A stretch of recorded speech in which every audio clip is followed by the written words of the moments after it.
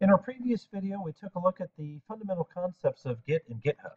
In this video, we are going to explore how to integrate NetBeans and GitHub. So what I'm going to do is I'm going to make a new project that is very similar to one that we looked at last week. I'm going to call it Vehicles. Now, I'll spare you the details. So we'll start with a Java Java application. Next, I'm going to call this Vehicles. And we'll go ahead and keep a main class. We're going to call it vehicles.driver and finish.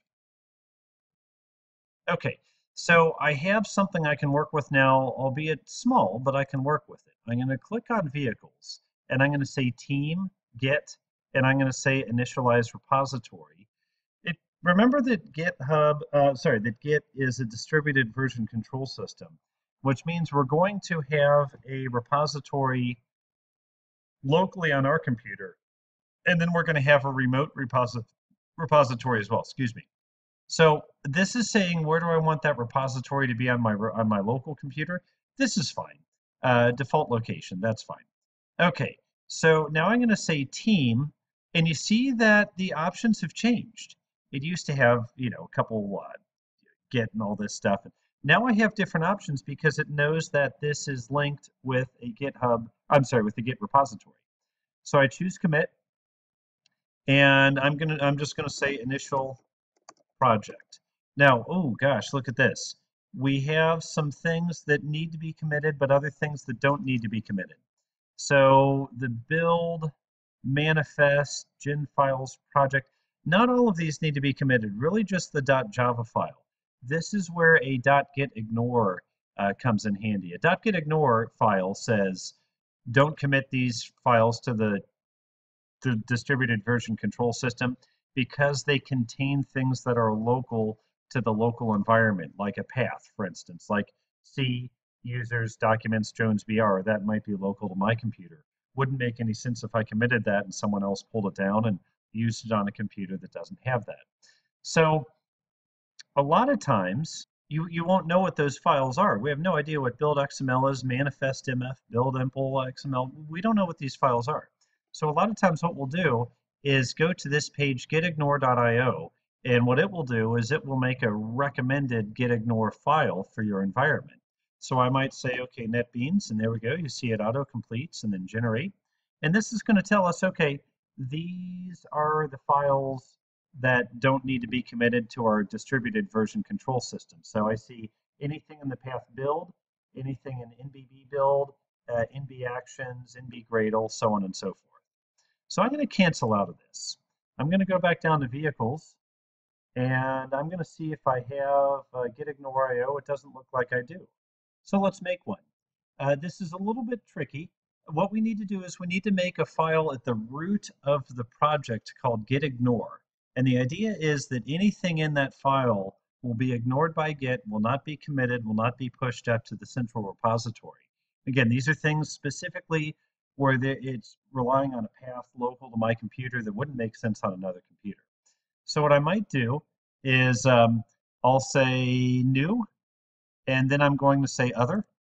And then we have to scoot down here to other again, and then empty file, and then next, and we have to call this a very specific syntax, dot git ignore, because that's what Git is looking for. If it finds that file, it opens the file, looks at the entries, and ignores those entries. So I choose finish. And now I'm going to go ahead and paste what we got from gitignore.io, which is really handy. And I'm going to save. And I want to do an experiment here. Let me right click on vehicles. And we're going to say git and commit. I could also get that from the Teams menu up above, whichever I want to do. Git commit, and let's take a look at um, project.xml. Just remember that. Gen files properties, build XML, any of these. Let's focus on project XML. Let's say in theory, I want to remove that one.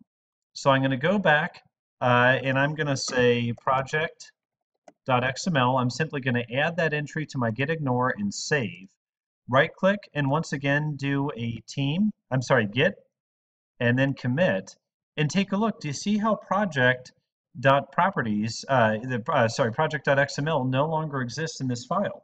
So you see, once I added it to dot gitignore, removed that file from the list of files that I'm going to commit. Now, I just wanted to demonstrate that functionality, but this is actually a file I do want to commit and put under version control. So I'm going to re-remove it. I just wanted to show how that works.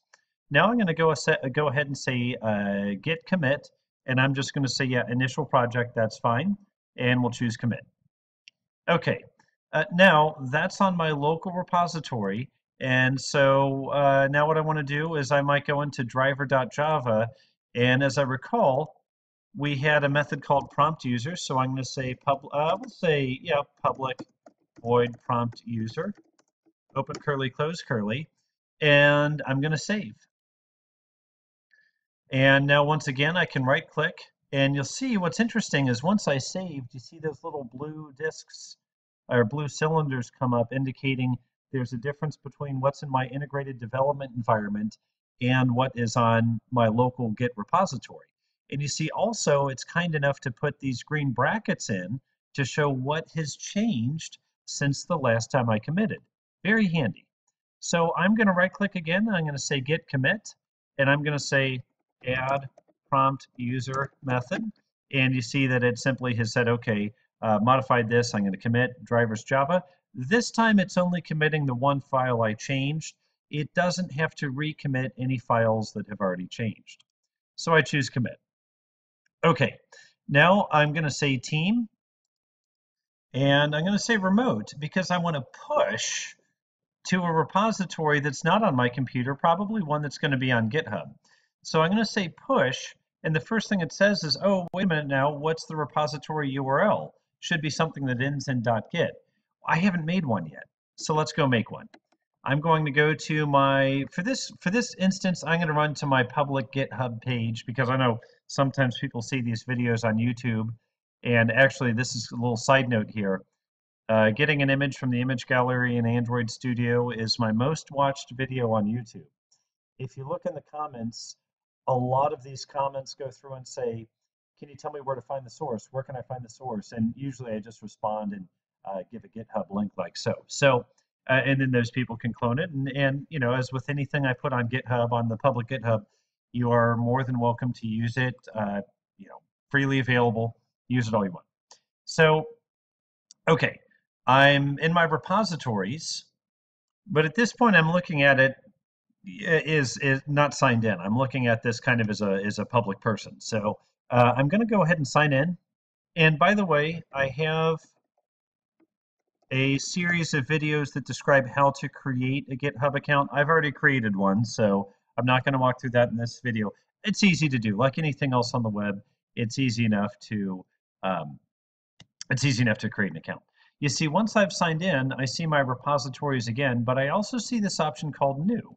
So I'm going to click on New, and this repository name, I'm going to say US 16, that would be summer semester of 2016, and we're going to call this Vehicles. Okay, public. Uh, if it's a public repository, there's no charge. For private, GitHub does have some pricing plans. You know, once again, this is your intellectual property, very valuable. We don't want to mess around with something getting deleted or getting in the wrong hands. So private, you do have to pay but public is freely available. And here again, remember resume. Think about having your GitHub repository as, a, as your resume. Instead of handing out a traditional resume, give a business card with your LinkedIn profile and your GitHub address. Honestly, enough said after that. I would be more impressed with that if I'm interviewing someone than if I got a resume. So I'm going to click Create Repository. And uh, yeah, everything looks good. It's, this gives me this URL here. So I click I go back to NetBeans now and repository, repository URL. Uh, I go ahead and paste in that URL I just got from GitHub. Once again, I'm going to need my uh, username and password. I'm going to go ahead and click Save Password, make life a little easier on me. Uh, choose Next. Okay, uh, master branch is fine. Uh, there's a concept of branching, which is an advanced concept. Don't worry about that. We'll stick with just master at the moment next, and finish. Now, we'll look for a little status.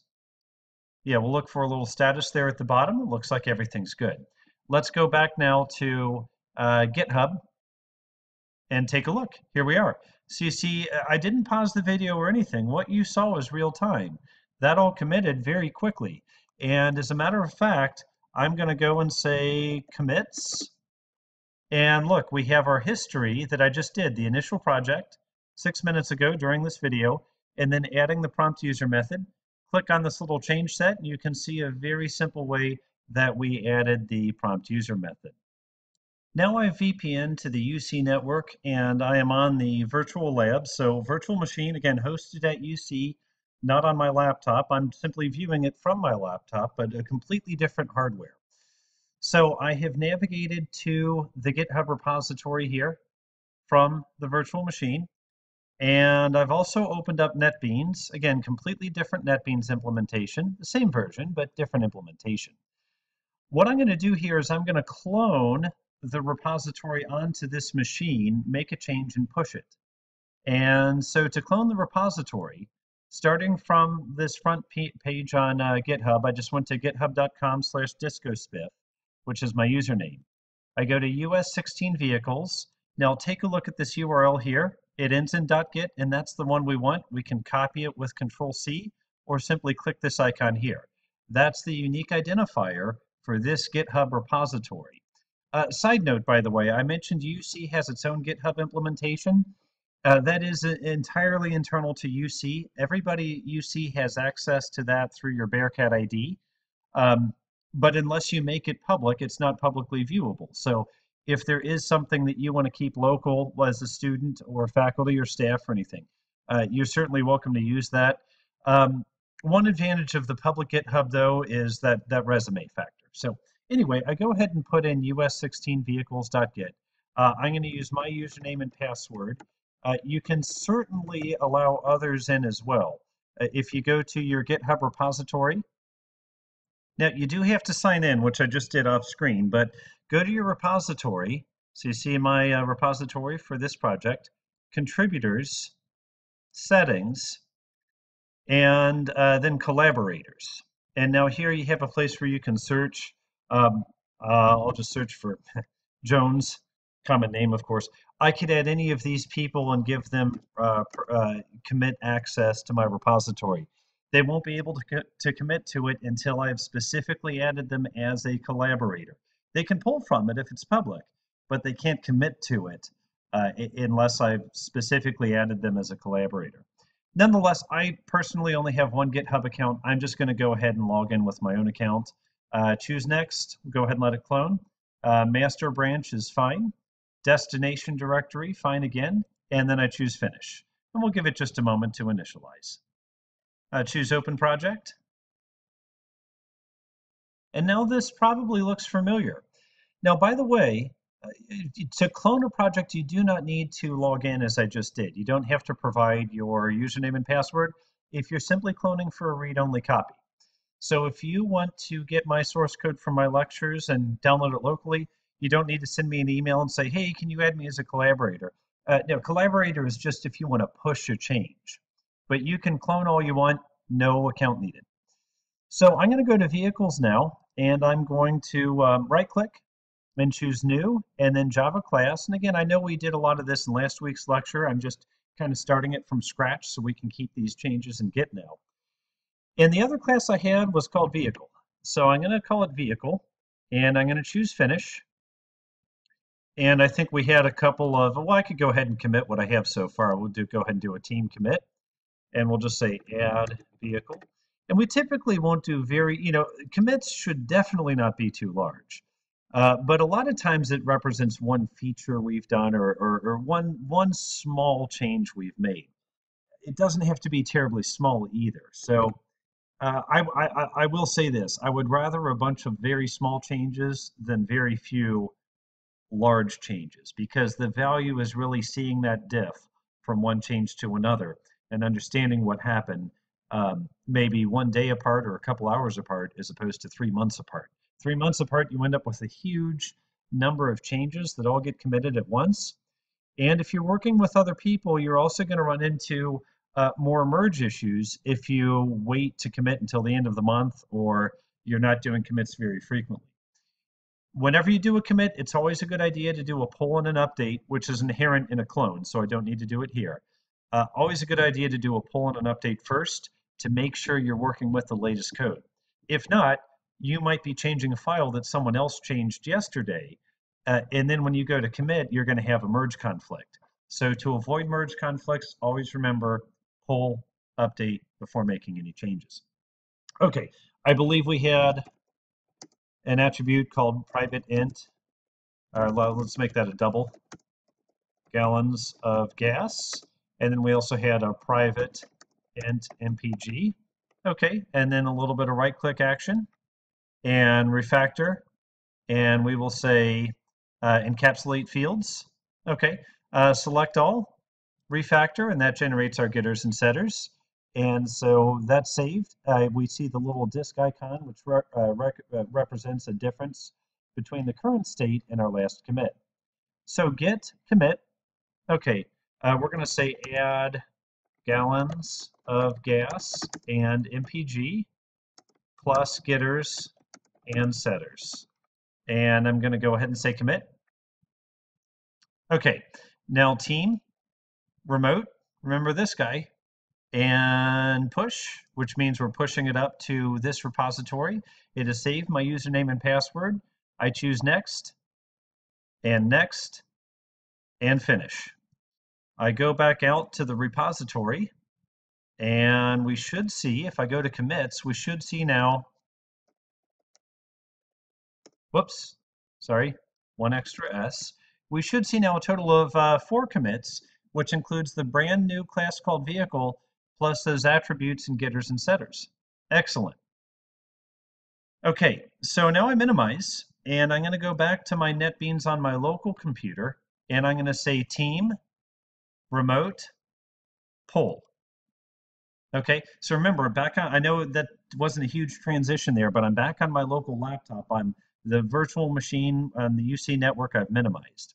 So I go ahead and choose next, and I choose finish. And what it's doing now is it's pulling down those changes I did under on a separate computer. Uh, could have been a separate account just as well. And now take a look. On my local NetBeans instance, I have those changes that I made on the UC virtual machine. So if you're working with, if you're collaborating with others, this tool is absolutely invaluable. Uh, even if you're working by yourself, it has a lot of merits because you have that commit history, you can revert to a previous version, you can see a history of changes. If you lose your laptop, it gets stolen or broken, you still have all these changes stored in Git. And of course, this helps to build your portfolio. So I hope this has been useful. In our next series of videos, we're going to continue to extend this, this uh, program that we're writing, and we are uh, going to continue to use Git and GitHub. I look forward to seeing you then. Thank you.